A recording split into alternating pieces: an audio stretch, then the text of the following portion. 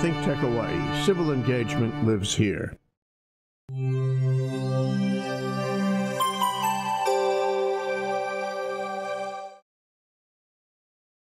Ah, the word of the day is Russell Leu, a, a, Hawaii attorney practicing and teaching in Beijing. He joins us by Zoom from Beijing, and he looks great. Let's take a flash. And, oh, there's Russell. Russell, how are you in your favorite coffee shop in Beijing? I'm great, Jay. Ni hao. It's 10 a.m. now. We're live in Beijing, and we're in the Haidian district uh, in Beijing, China. Uh, you look terrific. Anyway, so I wanted to uh, wanted to talk with you about this very provocative title you made for the show today. This is, of course, Think Tech Asia. We do this with you every week or two, and um, the title of the show is America uh, on the Wrong Road to Making America Great Again. And the tagline, my favorite part, is One Road, Wrong Turn. Russell, that is so creative and provocative. But tell us, what do you mean? What are you getting at? What is this about? What's going on here? Well, it's, it's very interesting, Jay. Uh, China has a uh, policy now, one road, one belt. So this is a converse. This is America's road, one road. Remember, one road. There's only one road. You can't move in it. And it's going the wrong way. It, it took the wrong turn. Wrong turn. We, we got we got off uh, on the back roads uh, so, so that's what we were going to talk about today, Jay. Why do I feel you're referring to none other than Donald J. Trump and his policy and the policy of this uh, administration? Yes, it's a very interesting times. Uh, I, um, you know, as an American, uh, it is uh, my daily duty to open the internet and to read the latest. And that's the big talk, even among the Americans or the expats here. What is he doing today? What did he do last night? where's this going to go? We're on this one big road, all of us. And I think we took a wrong turn. Well, you know, I, I just came back from Australia and I asked people as a regular matter, you know, what they thought about what was happening in the United States. And one guy summed it up pretty well. He said, I am so sorry for you people. I, I, I think that's a sentiment with uh, a lot of people who are not Americans, especially. I know a lot of Europeans in the European community here, and um, they always have they always come up to me and joke and say, "Are you coming to the party?" I said, "What party?" And they then tell me, "Well, we're coming to the party. It's it's for your president. It's it's it's the the party, you know." So we can commiserate with you. we're, we're in this together. That's the word of the day, commiseration. So, okay, let's let's uh, let's talk about the relative policies as they are emerging in the um, what do we call it the the, the, the administrations on the one hand of Xi Jinping in China, now president for life, and I'd like to talk to you about that, and um, and the and the administration here of Donald Trump over the past year and change, um, and and how they differ and um, how they relate to each other, and why you say one road, wrong turn, referring to the road in the United States. Mm-hmm. Well, Jay, I, I take this uh, approach because it's interesting how the policy of the U.S. is headed um, by one man, um, and how everybody uh, on that road, I think, are, are, missing what's happening. You know, I think the that uh, the, the big the big the big theme here. We talked the last week, the last show, Mm-hmm. about the, the uh, tariff on the steel industry. So we're taking this path where uh, the president is making good on his promise of um, uh, going back and uh, making America great again. But his strategy is, well, we're going to rebuild these industries that have died out, such as the steel industry. So we put a 25% tariff on imported steel. And so we're building an industry that has changed because of computerization and so forth. And we're talking about industry with very few workers. Uh, and, and, so we're taking this approach that we're going to go back into and, and, and rebuild these industries. And the question is, uh, how does this stack up against where the world is going, where we have technology, where it's a new economy, uh, and you have to be on that road. So that's a different road the road that looks and is the future using high technology. We're there. we're continuing the road. And I see it in China because in China, I don't. I carry um, a very few little cash, as you know. I carry my smartphone. I use my WeChat. I buy my cup of coffee, which I have here, using my smartphone, using WeChat. I go to the grocery store. Uh, I buy groceries using WeChat, and it's a great way. Uh, it's it's it's the future. It's the technology. You know, we're here. But when I go back to the U.S., uh, we're still hung up in, a, in an old world. And we're going back even further into the old economy, a labor economy. When, the, when everybody around us, around the world, it's, it's, not long, it's no longer a labor economy. It's a knowledge, technology, innovation economy. Yeah, and uh, what, what did I see recently? You know, one would believe that uh, the United States was a manufacturing country. It's not. Uh, it provides services. Most workers in this country provide services, not manufactured goods. Um, that has been taken over by other places in the world, not only China. In fact, China is giving manufacturing up to some extent itself. It's uh, farming out, uh, delegating out manufacturing to other countries in Asia. So what I find interesting is that we're still living in this kind of dream of um, returning to you know, uh, America as a manufacturing country, it's, it's not. And it's not going to be either. Uh, that's the remarkable thing. So here you have the United States folding in on itself, becoming isolationist. Isolation is never a good policy. Um, and uh, you have China opening up. And actually, you know, as far as Xi Jinping is concerned, this is a good break for him to find Donald Trump, you know, going isolationist and leaving the world to him, to Xi Jinping, to open up and exploit. Now, exploit is the wrong word, but to, to find opportunities. And he is finding mm-hmm. opportunities, mm -hmm. and China's finding mm -hmm. opportunities. So mm -hmm. uh, even if you assume it's a zero-sum game, which I don't think it really is, um, you find China is, is developing in the vacuum that Donald Trump has left. And the question I put to you, and I put it to other, other guests in our show on the same general topic, is so if you have uh, an administration like this um, in the United States, folding up on, you know, on, on world influence um, and, and um, abusing and uh, criticizing and uh, sending mm, negative tweets to our allies, our allied countries, uh, who have been our allies for years and hundreds of years sometimes, um, that's damaging our international reputation tarnishing our brand, so to speak. The piece about that this morning in the newspaper. Um, uh, and uh, otherwise, you know, damaging our opportunities, damaging our mm, prospects in the world, in the global world. How quickly can you repair that damage, if at all? Mm -hmm. um, you know, so Xi Jinping is making inroads. Um, you know, it's, there's a momentum, don't you think? There's a momentum involved. He's not going to stop. Hmm. He's going to, you know, the more opportunity he sees, the more he will seize. Um, and and the, the more opportunity we lose, um, the more likely we won't be able to get it back because mm -hmm. Xi Jinping and others will have seized it.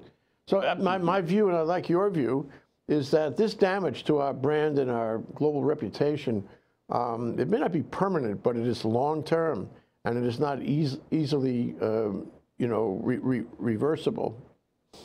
Mm-hmm. Well, well, Jay, I think you raised some really good points here. I think it's a long-term damage, and I think it, it goes beyond maybe just a president. It, it, goes beyond because if you look what happens in, in the U.S. in our Congress, they're fighting all the time in partisan politics, but they don't give leadership. They don't lead the country. They don't come out with policies to help people to earn an extra dollar to, to live a better life. Um, I see it very different being in, in China for the last 15 years you know, in China about 40, 35, 40 years ago, they had a new policy where they started having their children as a core requirement.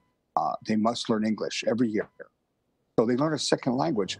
They knew back, even back then, for long term, that they had to build capacity. They realized that the business world outside of China, even through that time when it was closed its borders, okay, they knew that they had to integrate uh, the knowledge comes outside. They had to get that knowledge. So when the internet opened up, they could read English. And fast forward, when they started to do business abroad, unlike the Japanese, who were very limited and speak mostly Japanese, the Chinese can speak English. They can read and write English. And as you know, I teach law school here. Everything is seamless. I speak in English. Um, the kids read cases that are in the U.S. law case books. They're up the curve. And again, what scares me for most Americans and, and my fellow Americans is that you're not doing anything about it. The leadership in the country mm-hmm. is not helping to transition to what is the real world, and that's the knowledge economy, innovation. So we're going on this one road right now. That road is going back. We've got off the road. We're, we're on, we're on a, a road that is broken, it's paved. But that road will not bring us anywhere. That road will lead us down nowhere. And again, so um, I think there's a big divergence. We've taken two different roads. China's gone one way, the U.S. has gone another road. Well, I think we've been doing this for some time, and you know, it didn't begin with Trump. You know, I remember they used to joke about the uh, uh members of Congress, how only a small fraction of them had passports. They didn't travel. You know, travel is not only broadening; it's necessary. You can't appreciate the world unless you get around a little and talk to people from other cultures and so forth. Um, so it's really uh, going on for a while now that the U.S. has been shutting itself in. Now it's accelerated, of course. And this, and this does damage uh, to our own, you know, we're shooting ourselves in the foot uh, in this way. But what, what I find most interesting, and we really need to talk about it, is the, the immigration of Chinese over the past, what, couple of decades anyway? I mean, I, uh, it's quite remarkable how many Chinese are in this country um, and doing well. I remember mm -hmm. uh, going back to my old neighborhood, which is in Queens, New York, and uh, there was a Chinese restaurant there that was as big as anything I've seen, even when I'm with you in, in China. It was huge. And then a Chinese supermarket. You know, everything Chinese, all Chinese foods, huge, as big as anything I ever saw in China. So what you have is, um, you know, a substantial immigration of Chinese nationals to the United States, going to school, taking out, you know, permanent residence, whatever, and doing very well, you know, participating in the economy, building their um, cultural, um, their cultural islands, if you want, um, all across the country. And that's part of this global process of, of diversity. And you find it everywhere. I found it in Australia, where I recently visited, and, and you find it in Europe, although it hasn't really settled down in Europe, and people are not particularly happy with it. But the fact is, diversity comes from transportation. It comes from softening borders. Diversity is ultimately the, the destiny of the world, no question about it. Uh, with diversity comes, in my view, better thinking, better relationships, better economies, all that. So what I want to ask you about is whether this migration from China to the United States is somehow threatened by the Trump administration, who seems to change his mind, but mostly he's into white supremacy, um, and, and whether that uh, immigration into the United States is threatened, whether it will be reversed or diminished, and what the effect of that will be on, on the you know, the economy and the diversity of the country going forward. Well, Jay, I think you raised some really very important key points here. Uh, it's sort of like a national will. Uh, what Trump has done is he's, he's, he's brought out these people for many years who kept quiet, silent, who've come out uh, in Charlottesville, who've come out and are expressing viewpoints that maybe is a greater problem in America. And so Trump, what he's what he's doing now, I think, uh, he's he's turning back the clock we're going to be a society that does not uh, want immigration. We don't want foreigners to come to the U.S. And, and, and the question is, who is a U.S. citizen? Um, I think the country is built upon diversity. People from different nationalities, from different ethnic groups, who contribute to a society that's supposed to be equal.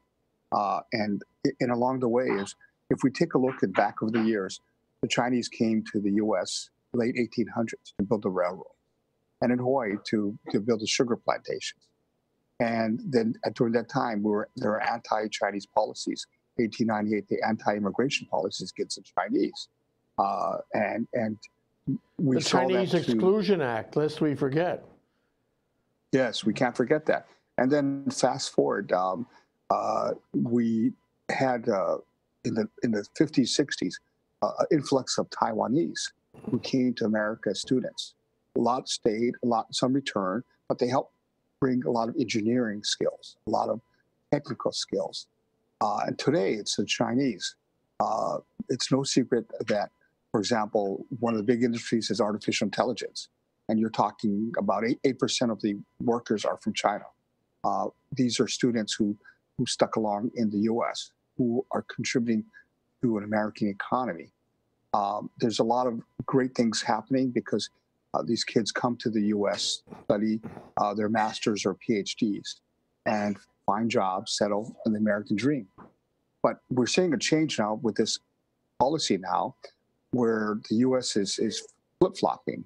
They're making it anti-Chinese to some extent. They're, they're targeting Chinese. There was a 10-year visa. Now Trump is considering to eliminate that.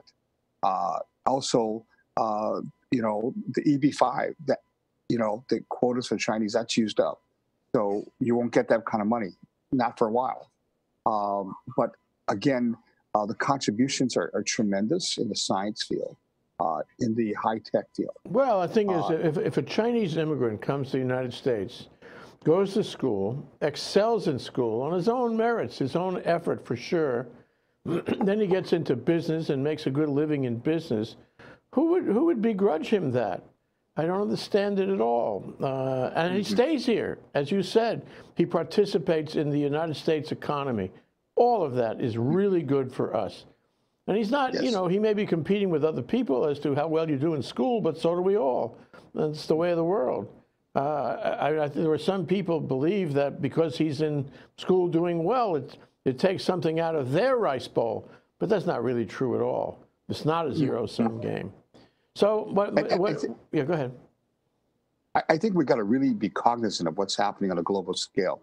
The big, huge tech companies, e-commerce, Alibaba, Tencent, Baidu, all these companies, uh, for example, are listed in the U.S. Okay, um, they bring money to an economy. Okay, uh, and they're attracting talent.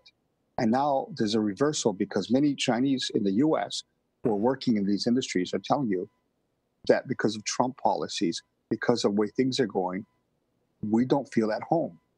We don't feel at home. So um, there's a major push um, for them. Uh, there's recruiters that actually go out and recruit these uh, these these skilled uh, technology people. Uh, the pay is getting better in China. The opportunities are getting better. And uh, again, so they're going to come back and really cement and accelerate China's policy of moving towards the, the number one leader in artificial intelligence and technology. We're going to be behind the game because of this anti-immigration. There's a, there's a kind of feeling you're not welcome here. Uh, we, not two America. hours ago, Russell, we had a show uh, with uh, Pete uh, Mouginis-Mark of the uh, School of Ocean Earth Science and Technology, the Hawaii Institute of Geophysics and Planetology, who's in Houston right now um, at the Lunar and Planetary um, Science uh, Conference. And uh, one of the things that was remarkable about that, about that conference is that the preliminary part of it was called China in Space. And China has entered into um, the science of space and exploring space to the point of sending, um, you know, missions to Mars, uh, to the moon, uh, already done, and Mars to come. And uh, what's, what's interesting about it is that China is joining the international science community at a very rapid rate and participating shoulder to shoulder with uh, the, you know, the scientists in that area around the world and at this conference in Houston. Um, so uh, what you have is um, uh, an equality, if you will, in science. what you have is a, um, a very uh, express uh, ambition by China to be in science, to be among the world leaders.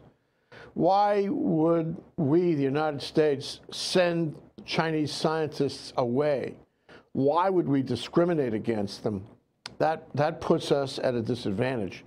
Because where will they go? and I want to ask you about this. Where will they go? Many of them will go back to China because China is offering them incentives. Xi Jinping is no slouch.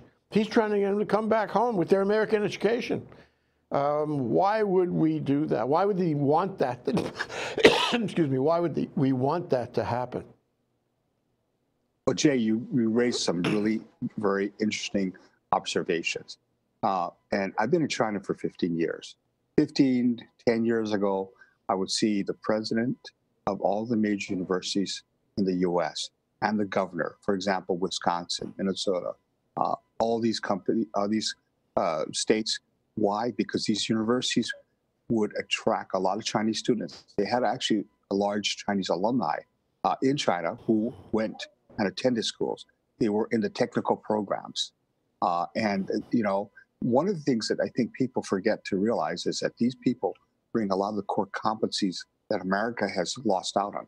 If you go to Google, you go to Silicon Valley, a lot of workers are foreign workers. They're not Americans because you can't find them in the American uh, in the American system. The education system in the U.S. relies on it. It's a 12 billion dollar a year industry of the, the universities attracting these students from foreign countries. Well, Russell, um, I think we're going to take a short break while we reconnect with Russell Leu. He's in Beijing. He's an American lawyer practicing and teaching in Beijing. We'll take a short break to reconnect, and we'll be right back.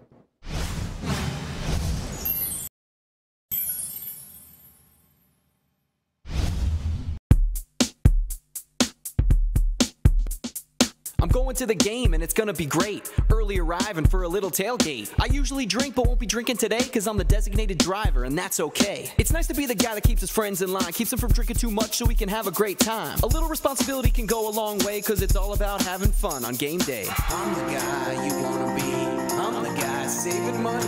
I'm the guy with the H2O and I'm the guy that says, let's go.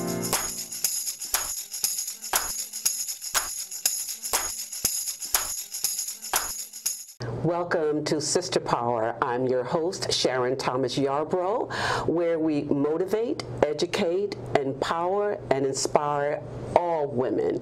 We are live here every other Thursday at 4 p.m., and we welcome you to join us here at Sister Power. Aloha and thank you.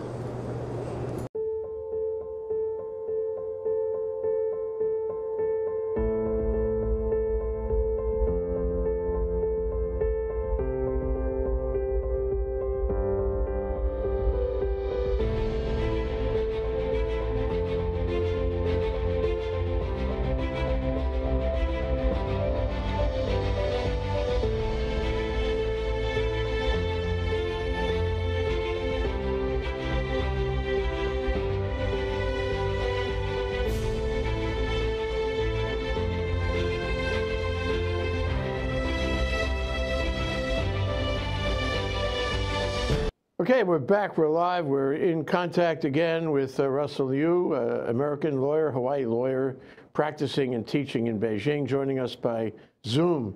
Um, and uh, Russell, you know, want to continue the conversation about the incentives that Xi Jinping and the, and the Chinese government are offering people. For example, if you wanted to be, you, Russell, American citizen, if you wanted to become a Chinese permanent resident or Chinese citizen, uh, would you have the possibility, the, uh, right to do that?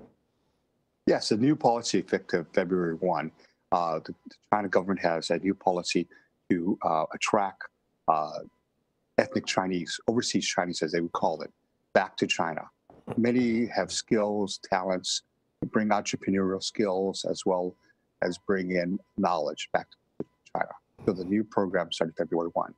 And it applies to children or um, of former Chinese citizens or, and it also applies to foreign-born Chinese like me, if I can prove that I have an ancestor that was a Chinese citizen, which means I presumably think I would go to the state of Hawaii uh, Vital Statistics Office.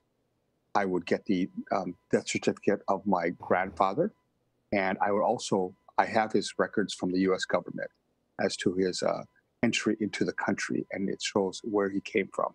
I believe that that and, I, and my birth certificate showing the state of Hawaii birth certificate says my ethnicity Chinese.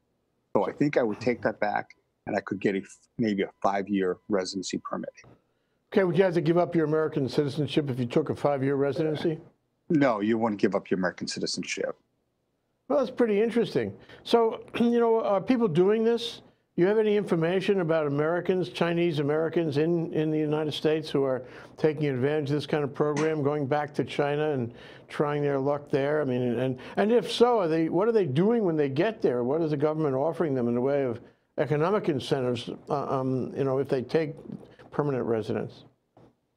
Well, I think that's great for an American company that needs to get presence in China, that maybe needs somebody to be the bridge uh, and uh, to, to be in China because the hardest part is getting the permanent residency.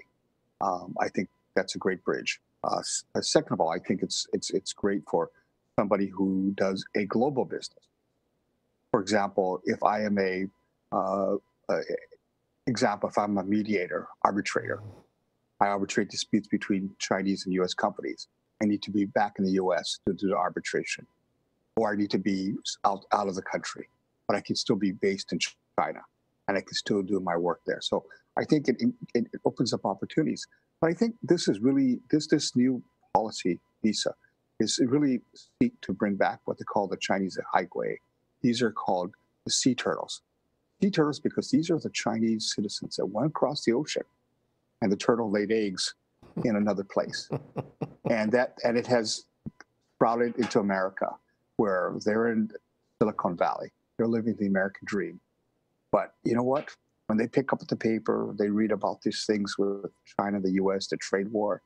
Uh, then they look around themselves and say, oh, the Chinese food here in uh, Palo Alto is sure or not tasty. Then you think about China, you know, and the Chinese policy really is saying, you have black hair, you have black eyes. You may have a raised in America, but you always will be Chinese. You always will be Chinese. So we welcome you back. So that has been the approach of the government. But I, I think with it comes the economic incentive because they are also doing something new. All the big companies like Baidu, Alibaba, Tencent that are listed overseas, uh, for example, you know how successful uh, Alibaba was, the, the largest IPO in U.S. history. And last year, it went up $495 billion. The stock shot up. The investors are great. They're happy. You said the billion, didn't there. you? You said I thought you said billion. Billion. Billion. I thought that's what I thought you said. Yeah. Billion, billion dollars. Well, several, several hundred billion dollars. Now, imagine if you had that money raised in China, and you had a listing. If Alibaba could list in China, a secondary list, imagine how much money that would generate the capital money markets would stay in, in China. Okay, so uh, and that money doesn't have to go overseas; it would be China. So what they're doing is they're setting up a, a new policy or new law. They're looking to where they're going to allow these companies to do a secondary listing in China. And with with the easing of restrictions, they're also trying to bring back these companies because that will advance and fuel their their their their whole goal of this going on this road to technology. Uh, whereas in the U.S., we're going to put it in the steel industry. We're going to slap tariffs on everybody in the U.S. and we're going to keep it American only. The Chinese are saying, well, no, we're going to go on this technology road. We, we, we took this turn. You guys can go on that turn. We're in this turn. And we're going to have lots of money to fuel this economy. Well, you know, you know what I get out of this? I mean, the United States policy is essentially rejecting um, brain power. It's rejecting smart and uh, you know studious um, citizens, um, and, and uh, not not valuing them, not keeping, not taking steps to keep them here. I remember I told you before uh, about a, a, story in the New York Times about an, an Indian doctor from India who went to medical school in this country, and he was uh, doing you know um, medical practice in a hospital that serviced the disadvantaged somewhere in the south. And there was a, an attack on another Indian not too far away from his uh, hometown there. And uh, the other Indian was, was killed, I think. And he and his wife, who had lived in the United States for many decades, said, we, we can't tolerate this. This is, this is racial hatred, uh, the worst sort of bigotry. We're, we're leaving. We're not only leaving our town and the hospital, we're not only leaving our careers in the United States, we're leaving the United States. And they left.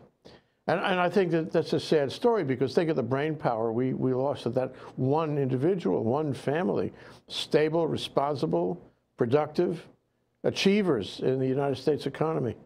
And now, you know, you multiply that times how many thousands or hundreds of thousands or millions, and you get, you get a result. And the result is that we are losing brain power, brain drain, call it, you know, that's what we're talking about the international brain drain. And we created ourselves, we are creating right now on a, on a racial, if not racist basis.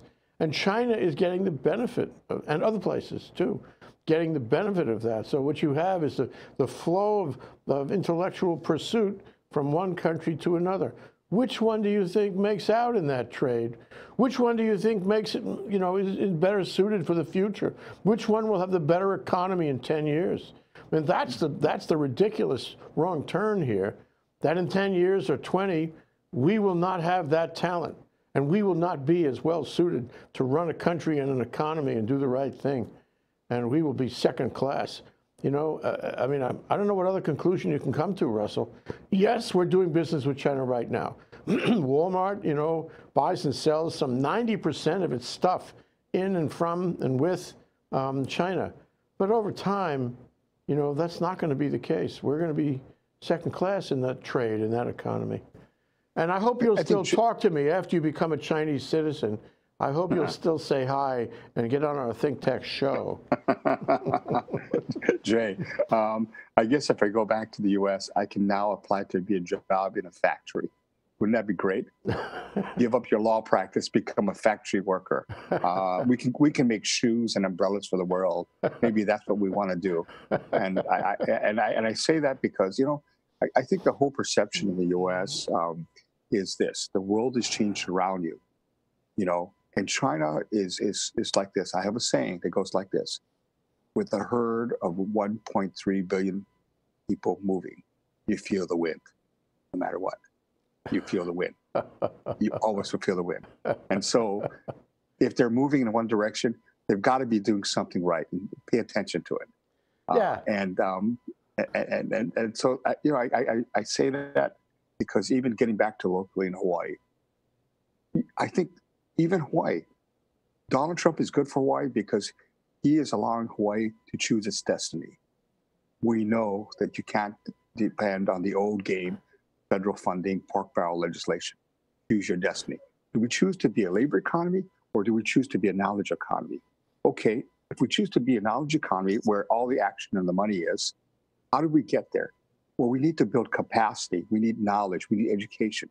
Bringing all these Chinese students that didn't go to MIT. There's tons of smart technical people. Get them into UH. Our kids in the UH will learn to be multicultural, global, and they will go up the curve faster. I'm convinced a lot of these Chinese students are much more up the curve when you talk about math, science. Yeah. Bring that. Then you can attract federal money for applied research. Then these Chinese students will give the brain power to attract global foreign direct yeah. investment into Hawaii. I think I think you've got it, Russell. I think that you know, aside from Xi Jinping benefiting by this isolation policy, somehow Hawaii is also benefiting by it because we understand diversity. And we understand, you know, uh, diversity, hopefully, in, in economics. Uh, I like to believe more of that in the, in the future. Um, so anyway, I mean, it's a very interesting uh, track. It's a very interesting thread to watch it's one one road, wrong turn. We'll have to we'll have to watch it on both sides. We'll have to watch it on Xi Jinping's side and on Donald Trump's side. We'll have to keep on talking. Thank you so much, Russell, for this enlightening conversation. We'll see you in a couple of weeks. Thank you, Jay, and uh, we'll see you in a couple of weeks. Xie xie, sai jian.